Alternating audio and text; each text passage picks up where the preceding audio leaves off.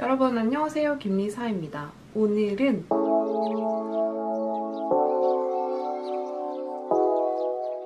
어떤 주제를 준비했냐면요. 여름에서 가을로 넘어가는 시기에는 아무래도 계절이 확 바뀌게 되잖아요. 기온이 내려가기도 하고 조금 더 건조해지기 때문에 특히나 스킨케어라든지 파운데이션을 바꿔줘야 하고요. 그리고 뿐만 아니라 컬러 트렌드도 바뀌기 때문에 색조도 여름에는 조금 더 pop한 컬러를 많이 사용을 했다면 가을로 넘어가는 이 시기에는 가을 감성에 딱 맞게 tone down된 그런 색조들로 체인지를 해줘야 합니다. 그래서 오늘은 함께 화장대와 파우치, 재정비 아이템에 대해 가지고 만나보려고 합니다. 좋아요랑 구독하기 꾹꾹 눌러주시고 영상 지금 바로 시작할게요. 가장 먼저 만나볼 거는 미스트 제품인데요. 보통 미스트를 여름에는 그렇게 자주 뿌리지는 않잖아요. 아무래도 다른 계절에 비해서 피부가 가지고 있는 수분감도 그렇고 유분이 많이 올라오기 때문에 미스트를 막 많이 뿌리거나 하는 계절은 아니지만 그래도 미스트를 뿌린다면 여름에는 조금 더 산뜻하고 수분감이 좋은 그런 촉촉함을 더해주는 제품들로 자주 뿌리게 돼요. 그래서 아무래도 그러니까 이런 제품들 있죠. 수분력이 강하다든지 아니면 피부 진정을 도와준다든지 가을에는 이 아이들만으로는 조금 부족한 감이 없지 않아 있어요. 그래서 이니스프리 베지 워터 토닝 미스트라고 해서 이거는 피부 윤기와 결 케어를 도와주는 미스트입니다. 뿌려줬을 때 피부결을 매끈하게 가꿔주면서 자연스러운 광채도 더해주는 그런 미스트라고 보시면 되는데요. 어, 분사력도 상당히 좋은 편이고요. 골고루 얼굴에 잘 밀착이 되기 때문에 많이 뿌리지 않아도 얼굴에 골고루 잘 밀착이 되는 그런 느낌을 받았어요.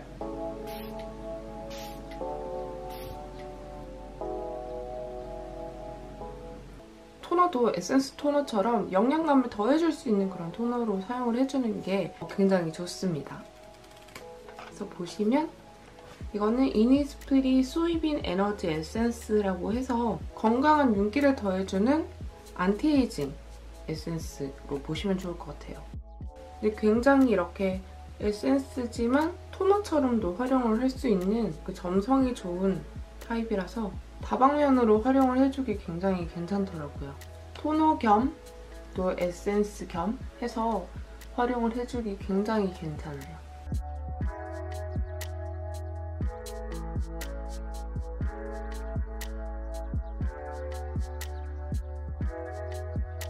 다음은 앰플로 넘어가 볼 건데요. 이 제품도 아까 미스트랑 같은 라인의 제품으로 피부 윤기와 결 케어를 해주는데 상당히 괜찮은 아이템이에요. 가을에는 아무래도 제품을 선택할 때 여름과는 확실히 달라져야 하잖아요. 여름에는 이런 식으로 수분감과 산뜻한 그런 제형과 마무리감을 가지는 에센스 앰플을 사용했다면 이제 가을, 겨울 됐을 때는 그것보다 조금 더 피부에 영양감을 더해주고 결을 개선해줄 수 있는 아이템을 선택하는 게 정말 정말 중요합니다.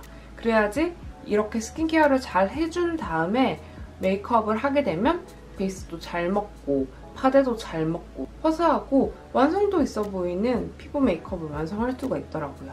그리고 이것도 향이 마찬가지로 굉장히 산뜻한 느낌으로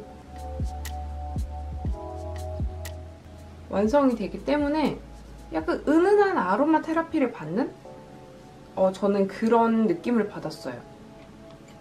그리고 무엇보다 제형 자체가 뭐 굉장히 무겁다든지 아니면 답답하다든지 하는 느낌을 주지 않기 때문에 되게 부드럽고 가볍게 스킨케어 하기에 상당히 괜찮겠다라는 생각도 들었던 제품이고요. 그래서 내 피부의 결 개선과 영양을 공급해주면서 또 가을에 가을 이번 환절기 시즌에 어떤 앰플을 사용하면 좋을까 고민이라면 이거를 또 매일 눈으로 스캔을 해주세요. 다음은 이니스프리 마이 드로 오일 보습인데요. 이거 같은 경우에는 여름에는 우리가 오일을 사용하지가 않잖아요. 근데 환절기가 되고 가을이 되면서 가장 먼저 느껴지는 게 뭐다? 피부가 건조해지고 각질이 일어나서 잘 들뜬다라는 점인데요. 저는 특히나 피부가 굉장히 건조한 건성 피부이기 때문에 스킨케어를 한다든지 그리고 파운데이션을 발라준다든지 할 때 특히나 이런 영양 보습에 신경을 많이 쓰게 되거든요. 그래서 환절기에 제가 무조건 필수적으로 넣는 아이템이 바로 이런 오일 제품이에요. 근데 사실 또 페이스 오일 제품은 많기도 하고 어떤 제품을 사용하면 좋을지 어, 감이 잘 안 오잖아요. 근데 이 제품 같은 경우에는 활용하기가 굉장히 괜찮았어요. 그냥 이런 식으로 단독으로 발라줘도 좋은 페이스 오일인데 이게 막 물처럼 흐르는 오일도 아니고 그렇다고 너무 끈적이고 답답한 그런 오일이 아니에요. 적당히 뭔가 에센스랑 섞여 있는 듯한 그냥 일반적인 오일에 비해서는 보다 더 산뜻한 그런 마무리감을 가지는 특징을 가지고 있거든요. 좀 가볍게 사용하기에 좋은 환절기템으로 진짜 딱인 것 같아요. 그리고 얘는 단독으로만 스킨케어를 할 수도 있지만 제가 활용하는 꿀팁은 어, 마이 파운데이션이랑 같이 섞어서 사용을 한다든지 아니면 우리가 스킨케어 할 때 있죠. 에센스를 사용하고 나서 오일을 바르고 그 다음에 크림 단계로 넘어가고 이런 식으로 이 단계 사이에 딱 넣어가지고 사용을 하면 되는데 그러면 사용하지 않는 것에 비해서 조금 더 피부가 영양감이 있고 좀 촉촉해지는 맨들맨들해지는 그런 느낌의 스킨케어를 할 수가 있어요. 다음은 크림인데요. 수분크림 하면 여름에 이런 산뜻한 수분크림을 굉장히 많이 사용하셨을 거예요. 왜냐면 여름에는 땀도 많이 나고 유수분이 폭발하는 그런 계절이잖아요. 그래서 아무래도 발림성도 굉장히 가벼워야 되고 그리고 피부를 답답하지 않게 해야 되는 제형이 특징인데 가을에는 가을에 어울리는 수분크림을 선택해주는 게 굉장히 좋습니다. 이니스프리 더마 포뮬러 그린티 프로바이오틱스 크림이에요. 이거는 영양 보습을 굉장히 잘 잡은 아이템이기 때문에 지금 같은 환절기에 정말 딱 잘 어울리는 템이라고 할 수가 있습니다. 제가 이 제품을 그냥 몇 번 써본 게 아니라 얘를 만나고 나서 꽤 오랫동안 이 아이템을 활용해가지고 스킨케어도 하고 또 베이스 메이크업 하는데 바탕으로 활용을 많이 했었는데요. 꾸준하게 사용을 해보니까 아, 왜 환절기에는 환절기에 어울리는 아이템을 서, 써야 되는구나 라고 확 느낄 수 있었던 제품이에요. 이게 녹차 유산균, 발효, 용의 성분이 외부 자극으로 손상된 피부 장벽을 케어해서 건강한 피부로 바꿔주는 밀착 보습 크림이잖아요. 그렇기 때문에 약해진 피부 장벽을 잘 잡아주는 뭐 그런 특징을 가지고 있습니다. 그래서 이런 환절기에는 그 피부 장벽을 잘 잡아주는 아이템을 사용해주는 게 굉장히 굉장히 중요하죠. 그리고 특히 파운데이션 같은 경우에는 환절기 시즌에는 여름보다 조금 더 나한테 더 딱 맞는 제품을 선택하는 게 정말 중요하잖아요. 왜냐하면 이 시기에는 나한테 맞는 파운데이션을 선택하지 않으면 들뜨거나 빨리 날아가 버린다든지 darkening이 생긴다든지 피부 결점이 조금 더 잘 보이는 시기이기 때문에 특히나 다른 제품들에 비해서 더더욱 잘 사용을 해줘야 되는 게 파운데이션 제품입니다.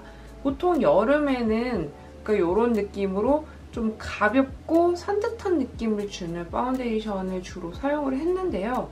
아무래도 이 아이들 같은 경우에는 좀 어, 광채는 더해줄 수 있지만 커버력이 좀 약한 경우가 많았어요. 근데 이니스프리 My Foundation 3.4 같은 경우에는 일명 애칭이 속광 커버 파데라고 하는 이름을 가지고 있거든요.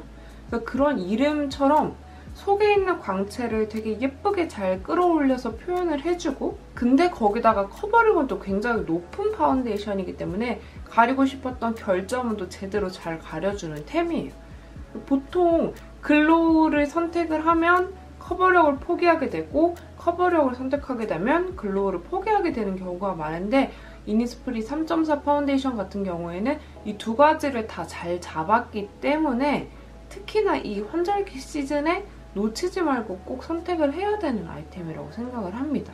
자 이제 드디어 마지막으로 넘어가는데요. 너무나 기다리던 색조 아이템이죠. 색조 같은 경우에는 우리가 보통 여름에는 조금 더 튀고 발랄하고 상큼하고 과즙상인 립 제품들을 많이 사용을 하게 되는데요. 그리고 거기다가 제형은 매트한 타입보다는 확실히 글로시한 그런 글리터가 들어간 제품들을 많이 사용하고 선호하게 되잖아요.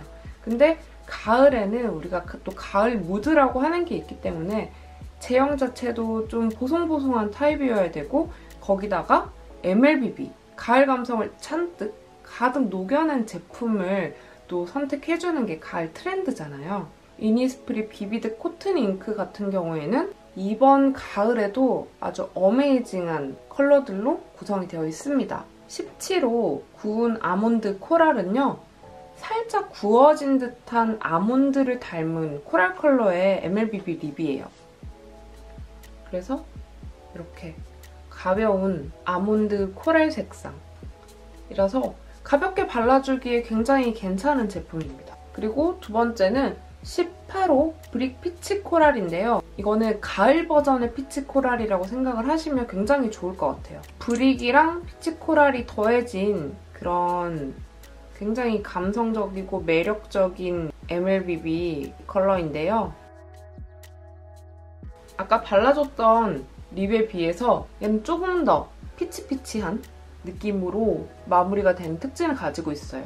그래서 조금 더 차분한 느낌을 원한다면 17호 여기에 코랄이랑 피치 느낌이 조금 더 들어갔으면 좋겠다 하면 18호를 선택을 하시면 좋을 것 같습니다. 다음은 19호 rosewood coral인데요. 차분한 말린 장미 색상. 가을에 가장 인기가 많은 컬러가 이런 말린 장미잖아요. 그래서 특유의 장미색을 띠고 있는 특징을 가지고 있어요.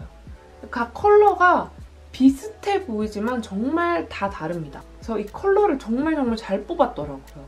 아 역시 이번에도 이니스프리는 가을 색조를 잘 뽑았구나. 역시 이 틴트 장인이구나 하는 생각이 딱 들었었는데 색깔이 정말 하나같이 다 예뻐요. 그리고 마지막은 20호 chili pepper coral입니다. 가장 진하고 강렬한 MLBB red 좋아하시는 분들 정말 강력 추천하고 싶은 게 이 20호예요. 20호 보이시나요? 그러니까 이런 느낌으로 지금 발라준 네 가지 중에서 가장 색상이 강하고 강렬한 느낌을 가지는데요. 눈 화장은 되게 심플하게 완성을 하는데 입술만 이 20호 chili pepper coral 발라주면 정말 마성의 매력의 메이크업을 완성할 수가 있을 것 같아요. 그리고 이 이니스프리 Vivid Cotton Ink 같은 경우에는 처음 발라줬을 때는 수분감이 굉장히 좋아서 상당히 촉촉하게 입술에 밀착이 되는데요. 근데 이게 시간이 지나서 스며들게 되면 조금 더 보송보송하고 매끈한 느낌의 lip으로 완성이 된다는 특징을 가지고 있어요. 그래서 보통 우리가 뭐 soft matte나 이런 벨벳 같은 제형을 바를 때 처음부터 좀 보송보송한 애들은 살짝 그라데이션 하기도 어렵고 덧발랐을 때 조금 부담스러운 경우도 있는데 얘는 일단은 처음 발릴 때 되게 촉촉하게 발린다는 특징을 가지고 있어요. 그렇기 때문에 입술이 건조하거나 좀 자극이 되지도 않고 되게 부드러운데 쉽게 립 메이크업을 할 수가 있다는 특징을 가지고 있더라고요. 이 네 가지를 제가 픽해왔는데 여러분들에게 가장 취향 저격을 한 컬러는 어떤 건지 정말 정말 궁금합니다. 저는 개인적으로 아, 다 마음에 들지만 17호도 진짜 마음에 들어요. 그리고 18도 예쁩니다. 그리고 얘 20호는 가장 진한 컬러잖아요. 그래서 이 20이랑 가장 연한 뭐 18호랑 같이 살짝 섞어서 바른다든지 아니면 그라데이션을 해준다든지 이런 식으로 응용을 해서 발라줘도 정말 매력적입니다.